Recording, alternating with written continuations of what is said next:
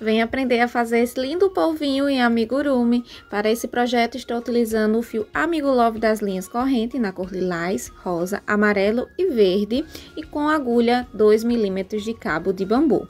Inicio meu projeto com anel mágico subindo duas correntinhas e dentro do anel mágico seis pontos baixos. Fecho o anel mágico e na segunda carreira vou fazer seis aumentos. Agora eu vou começar a subir meu aumento um ponto baixo aumento até quatro ponto baixo e um aumento. Após fazer essa sequência, vou subir quatro carreiras de ponto baixo e vou começar a fazer a diminuição. Então, vou fazer uma carreira com quatro ponto baixo e uma diminuição e outra três ponto baixo e uma diminuição.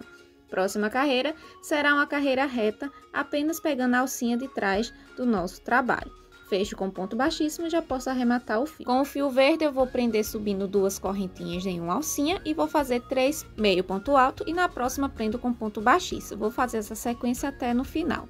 Depois que eu fiz esse processo, eu prendo com ponto baixíssimo e já posso arrematar meu fio. Com o olhinho número 7, eu vou contar da carreira 9 e vou colocar o olhinho com 10 pontos de distância. Para a nossa base, vou seguir repetindo o processo até a carreira 2 pontos baixos e um aumento.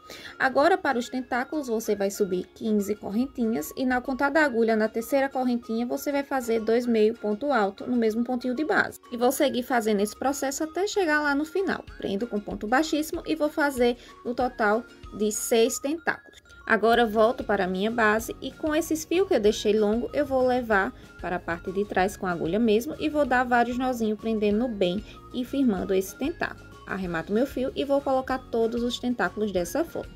Com a base já pronta, agora eu só vou unir fazendo uma costura de alinhavo simples, fechando essa parte de baixo do nosso polvo. Deixo um espaçozinho para colocar enchimento e após isso eu volto costurando, fechando por completo. Agora é só fazer os bordados e ficou prontinho o nosso polvinho. A receita completa já está disponível no site das linhas corrente.